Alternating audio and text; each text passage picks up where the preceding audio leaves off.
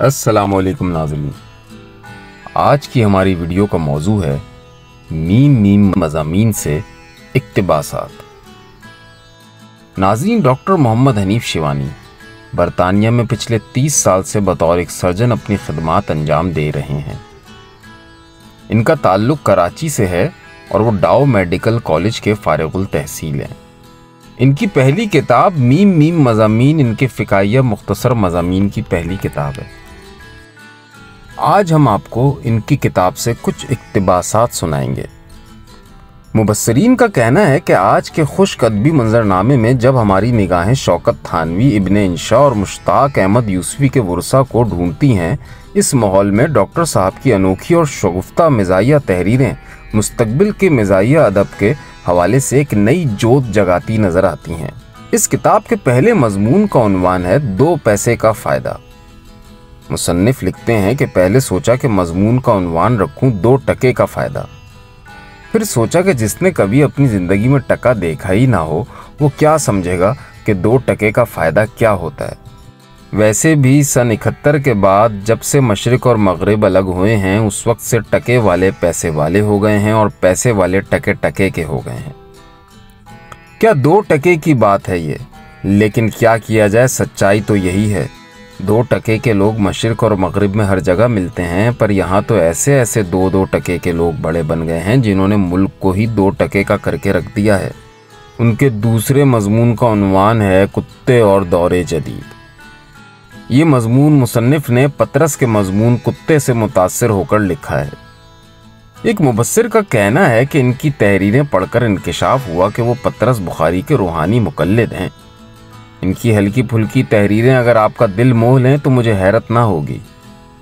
मुसन्फ़ अपने इस मजमून में लिखते हैं कि आज के दौर में यह आम मुशाह है कि अक्सर मकाम पर हिफाजती इकदाम के नाम पर कुत्तों को इस अमर का ताबे किया जाता है कि वो हर आते जाते अरे गैरों को सूंघते फिरें। ये कहाँ की इंसानियत है भाई? ज़रा सोचिए कि एक इंसान को अगर ये काम दिया जाए तो कितना नागवार गुजरेगा। जबकि कुत्तों के सूंघने की हिस्स इंसान से बीस गुना ज़्यादा है। एक लम्हे के लिए तस्वुर करें कि अगर एक इंसान के सूंघने की हिस्स बीस गुना बढ़ा दी जाए तो उस पर क्या गुजरेगी? इस मामले में मुख्तलिफ़ हालात और वकूआत का तस्वुर ही लर्जा खेज है। इंसान का तो जीना ही मुहाल हो जाए। कुत्तों को देख लें, ना नाक पर कोई रुमाल, ना कोई छींक और ना माथे पर कोई शिकन। दिल में उठती उकताहट को कामयाबी के साथ कुचलते हुए चेहरे पर एक संजीदगी के साथ अपने फ़र्ज़ की अदायगी करते हुए जब कोई साहिब नज़र इन कुत्तों को देख ले तो अश अश कर उठता है। अक्सर अफसरान तो अपने मातहतों से कहते हैं कि जानवरों ही से कुछ सीख लो, क्या इस कुत्ते को इल्म नहीं कि हज़ारों को सूंघेगा तो बमुश्किल एक मिलेगा? लेकिन काम तो काम है और अदायगी फ़र्ज़।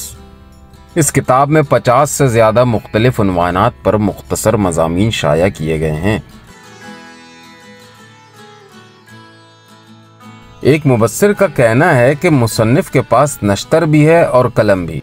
जब चाहते हैं, कलम को नश्तर बना देते हैं। नश्तर से बदन की आबियारी करते हैं और कलम से जहन के आँगन में फूल खिला देते हैं। डॉक्टर साहब, पतरस बुखारी, शफीकुररहमान, कर्नल मोहम्मद ख़ान और मुश्ताक अहमद यूसफी सीरीज़ की एक नुमाया शख्सियत हैं। इस किताब का एक और मजमून है, सरकारी ज़बान।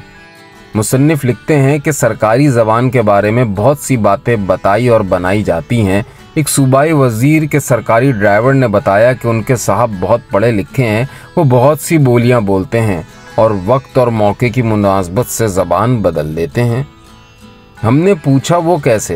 कहने लगा कि सर, कार में बैठते हैं या अपने कुत्ते को वॉक पर ले जाते हैं तो अंग्रेज़ी में बात करते हैं, चौकीदार को पश्तों में गेट खोलने का हुक्म देते हैं, पट्टे वाले से उर्दू में फ़ाइलें और चपड़ासी से सिंधी में चाय मंगाते हैं, पुलिस वाले को पंजाबी में गालियाँ देते हैं और गुन गाने हो तो हिंदी में गाते हैं। हमने पूछा कि इनकी मादरी जबान क्या है? कहने लगा, साहब, वो तो मालूम नहीं पर लहजा बहुत भला। ज़रा मकरानी सा लगता है। मैं इस वक्त से ये समझने की कोशिश कर रहा हूँ कि हमारी सरकार की ज़बान क्या है और कैसी होनी चाहिए। क्या है और कैसी है, ये बात कहता कोई नहीं है। पर अब तो सब समझते हैं कि इस मादरे वतन की कौम जब से पैदा हुई है, उस वक्त से एक और नेक होने की एक्टिंग कर रही है। नाजरीन, मीम मीम मजामी की रूनुमाई 2021 में बरतानिया के शहर बर्मिंगम में बरतानिया में पाकिस्तानी डॉक्टरों की सालाना इज्तम में की गई थी। इस किताब को बहुत पजीराई मिली है। कारईन का कहना है कि ये किताब नहायत सहल अंदाज और आम फहम ज़बान में लिखी गई है। मुसनफ़ बात में पेचीदगी के बजाय सादगी को ज़्यादा अहमियत देते हैं। बजाय बात को घुमाने, फिराने और तहरीरी मुँह शगाफियाँ करने के वो बिला तकल्लुफ़ अपनी बात मिज़ा में कह देते हैं। नाजरीन, आपको इस किताब के कुछ मजामी की झलक दिखाते हैं। वाई फाई वाह भाई।